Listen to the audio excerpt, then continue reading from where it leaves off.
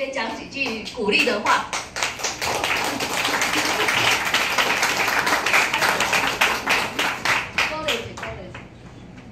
好，时间还有各位现场的这个朋友哈，大家晚安。这个是在表定没有的，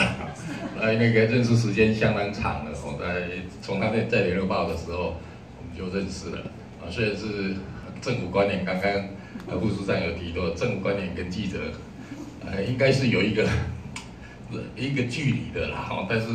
时间跟他去相处的话，事实上呃非常的愉快，特别是他能够一直听我们去解释啊。